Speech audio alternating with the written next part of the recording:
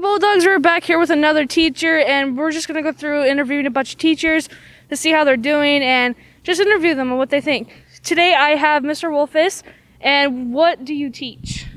Social studies. So my two subjects right now are world geography and U.S. history. What is your uh, like most favorite thing to do, like off of school? Probably what I love to do the most is uh, things around the house. I like to uh, like to take care of the yard.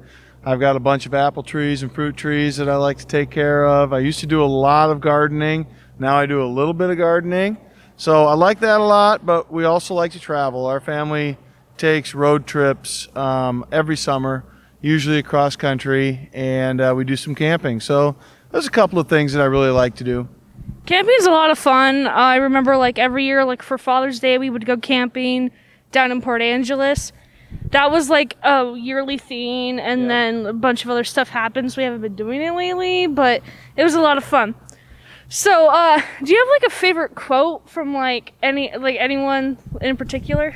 Yeah, I've got one that uh, is a tagline on my email. It's probably one of my favorites, and it kind of goes along with both academics, teaching, and coaching. And it's a quote by John Wooden, who was coach at UCLA men's basketball for a number of years. And he's, he identifies success as success being the peace of mind that comes from knowing that you have done your best to become your best that you're capable of becoming. So I'd say that's probably one of my favorites for sure. That that sounds like a really awesome quote. Um, you mentioned that you're a coach. What do you coach? Currently, I coach the boys golf here at Mount Vernon High School in the spring, and I'm currently coaching the Lynden High School varsity girls basketball. So you drive down to Lynden for basketball? Nope, I drive down to Mount Vernon for teaching. I live in Lynden. Oh.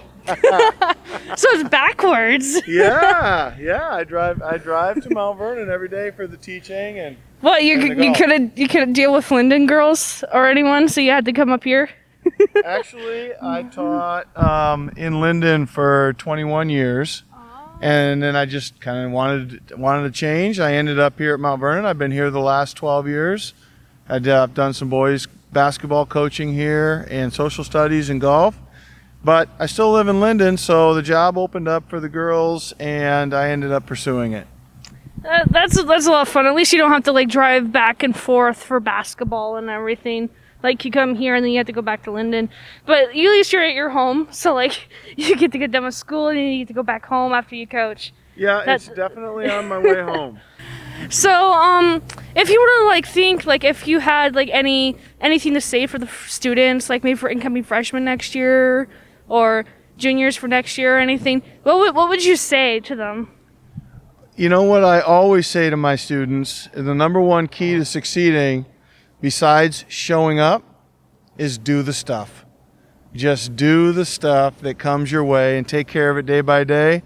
Don't procrastinate. That's probably one of the top things that I actually do say to students um, as far as advice and succeeding. Yeah, procrastinating does not get you anywhere. It does not get you anywhere. I've learned that the hard way. It, uh, actually, it gets you behind. well, it, it well, it It's still it gets you behind. It Because gets you, if it gets you behind, well, I guess yeah, it gets you somewhere. It gets you behind. It doesn't get you like further though. That is true. Gets you behind. Yep. so wait, I just said the but thing. Oh my gosh, I, I should not be talking. so um, thank you for joining in this interview. It was a lot of fun. You're welcome. my-